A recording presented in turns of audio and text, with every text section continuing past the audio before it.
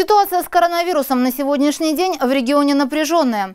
Ежедневно регистрируется от 90 до 130 случаев заболевания. Только за минувшие сутки у жителей Ненецкого округа выявили 122 новых случая заболевания COVID-19. В числе заболевших 21 ребенок.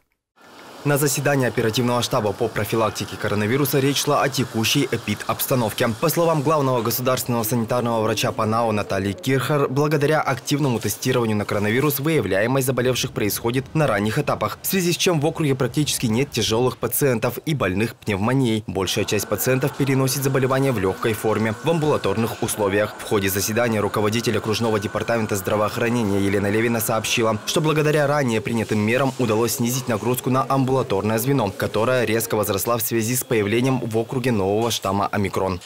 Те меры, которые были приняты, вот введение дистанционных методов наблюдения, дистанционное открытие, закрытие способности, оно значительно облегчило работу нашим докторам. Сейчас они справляются с той нагрузкой большой, которая на них падает в связи с э, заболеваемостью.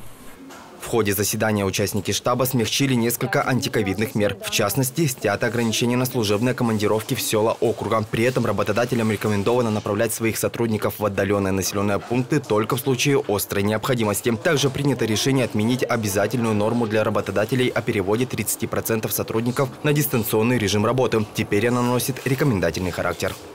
Мы понимаем, что идет процесс и обучение в школах, и лечение в больницах, и есть предприятия, которые требуют привлечения своих работников, в том числе и старшего возраста. Но все же эта рекомендательная норма должна сохраняться.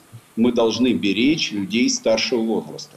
Да, ковид зашел в сельские населенные пункты, но это не означает, что сейчас все сорутся и поедут по, по селам в командировке. Если есть необходимость, да. Если есть острая необходимость, нужно ехать. Только за минувшие сутки в населенных пунктах округа выявили 22 новых случая. В числе заболевших 3 жителя Оксина, 11 жителей Тельвиски и 8 жителей Красного. В целом на лечении в регионе находится 945 человек. Из них стационарное лечение получают 45 человек, амбулаторное 900. В регионе зарегистрировано 93 летальных исхода от коронавируса. Василий Хатанзийский, Алексей Орлов, телеканал «Север».